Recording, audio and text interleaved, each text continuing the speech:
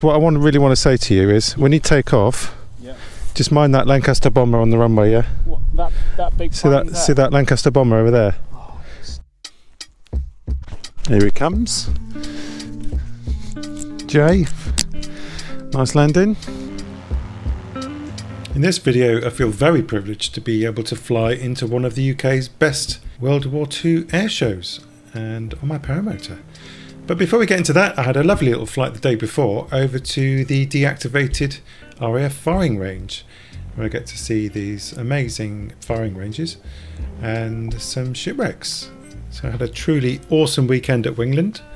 And then after the air show, I had a great flight over to Castle Rising with Jae and Lee.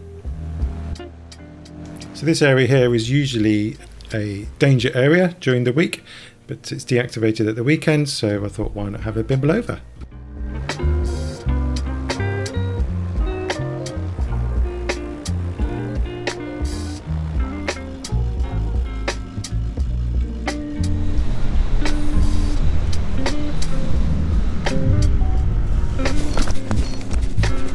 At 6.30 in the morning, me, Chris and Pete are going to East Kirkby Air Show. That landing over there.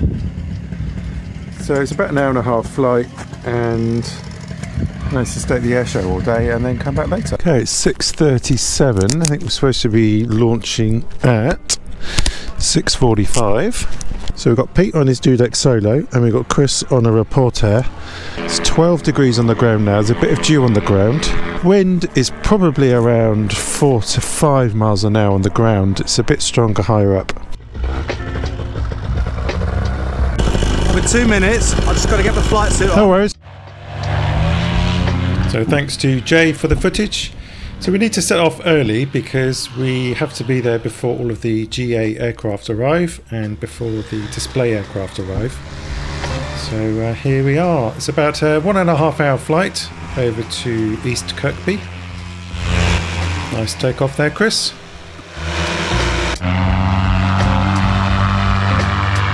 There goes Pete. Again, nice takeoff. So we're on our way. And obviously, I can't resist foot dragging some haystacks. Um, the wind is a little bit gusty, so I don't get too low. Um, I don't want to break my leg or anything.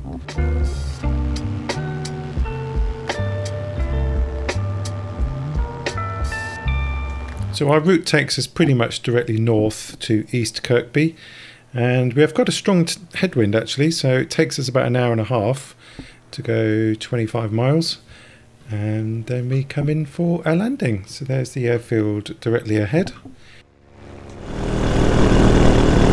Nice. There goes Pete. So Chris is down, very nice. Oh, he's not on his feet. Look at that, Lancaster. Awesome.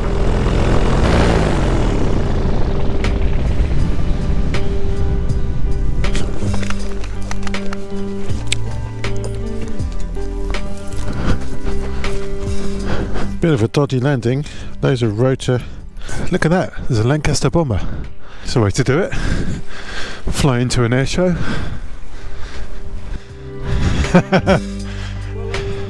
While we're waiting for the air show to start, we have a look around the stalls.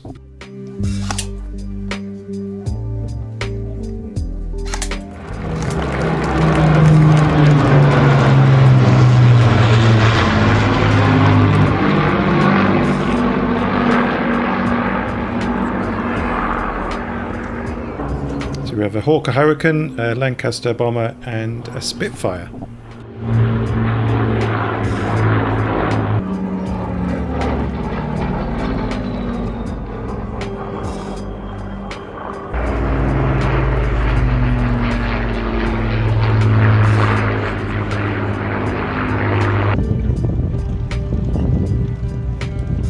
So did you know there were 7,000 Lancasters built and there are only two remaining and they were both at this air show?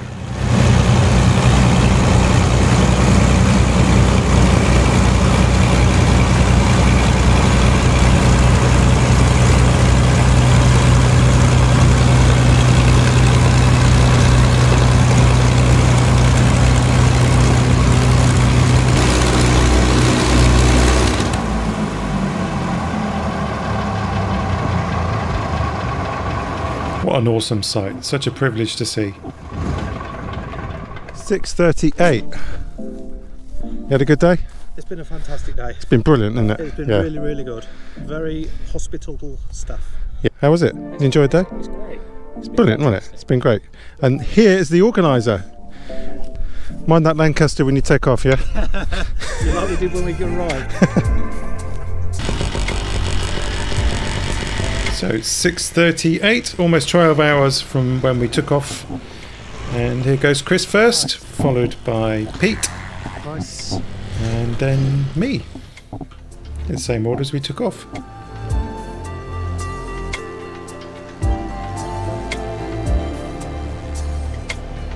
What a fantastic day. Truly great staff, really hospitable. Uh, had a good old chat about aviation. They're all aviation lovers. And just had a fantastic day. Just really, really enjoyed it. So Jae was supposed to join us on this trip, but unfortunately had carburettor issues. So he spent the day fixing his carb, and there he is, and uh, gave me some footage uh, from his camera uh, coming over me as, as I come in to land from the airshow. Thanks for the footage, Jae.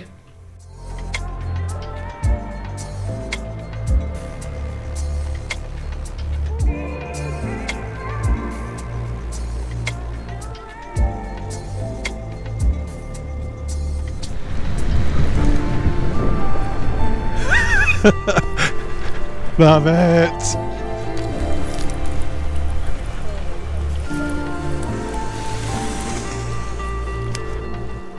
Here comes the British paramotor champion, Dan Jones.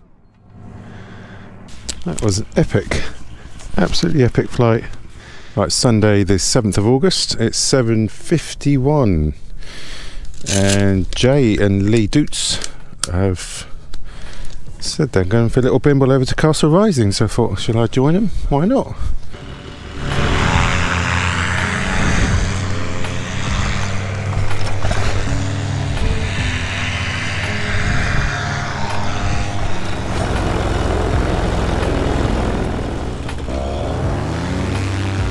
So I was pretty tired after the air show yesterday, so had a bit of a late start. It's about 9 a.m. now, and off to Castle Rising, which is quite a short flight away, probably about half an hour. And uh, just take it low and slow. So it's me, Lee Dootson, and Jae go over to Castle Rising. And they peel off and go straight back to the field, but then I head over to Kings Lynn, where I see a paramotor who's not from Wingland, so I don't know where he's from. If you know who it is, or if you're watching the video, let me know in the comments. Thanks.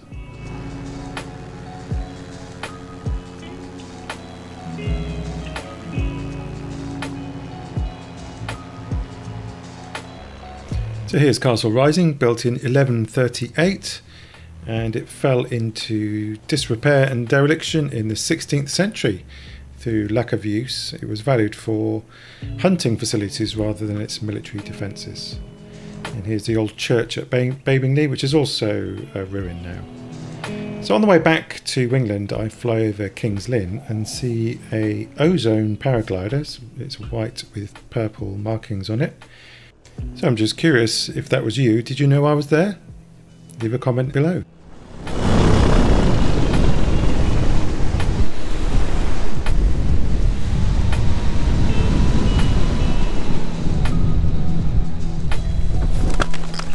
So I hope you enjoyed that. If you did, hit the like button.